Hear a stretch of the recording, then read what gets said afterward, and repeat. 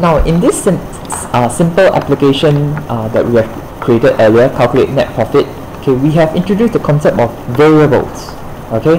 Which is uh, sales sales variable cost variable and the profit variable.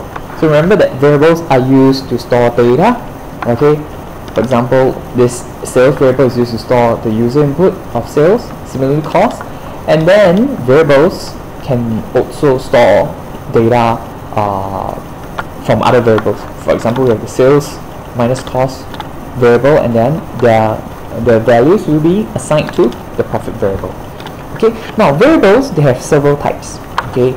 Um, now variables have data types. Now what I mean is uh, we know that there are numbers. We know that there are uh, characters. Okay? We know that there are true or false values. So all these are different data types. Similarly in programming we can use data types to store our variables and uh, this is actually good practice. For example in, this code over here.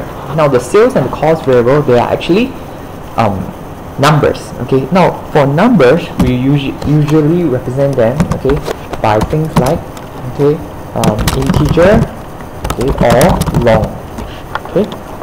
Integer or long uh, both actually can store numbers but uh, long can just store a bigger range of numbers but it does consume more memory though okay so if you don't need to contain such a big number just use integer so now I want to explicitly it's good practice to explicitly declare the data type of variable. To do that, you can say dim okay, sales.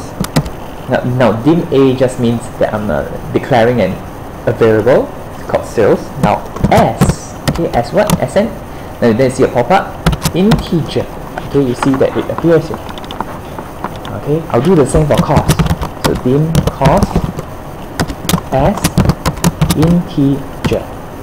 Okay, and because I know profit is also an integer I'll do this dim um, profit as integer okay and then I can output okay let me try running the program again so let's say um, 100 and then okay cost will be let's say um, 20.5 though then okay?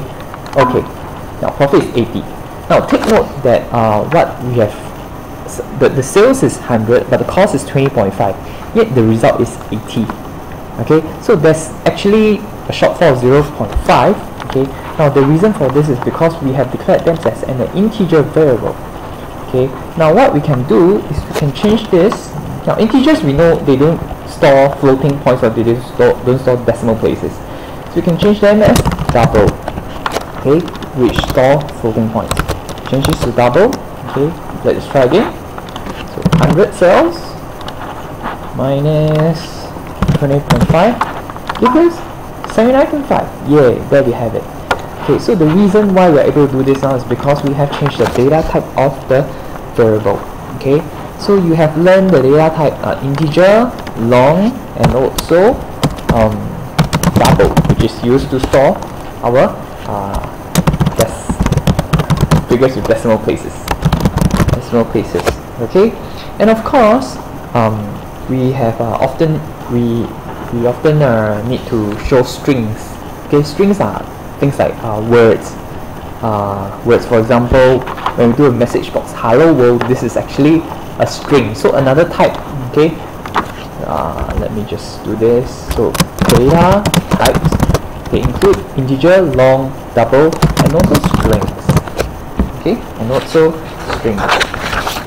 and uh, also boolean okay? Now boolean variables are simply true or false values. Alright okay so how to decide which data type to use? To answer this question you might just ask yourself what kind of data are you storing? It, if it's a number then it might be integer. If it's a number with decimal places then it might be a double. Okay or if it's just like words then it will be a string. Or if it's just a true or false value then I will be a boolean. So this is a, a simple uh, a simple introduction to variables. In the coming examples we show you how to use when integer double string boolean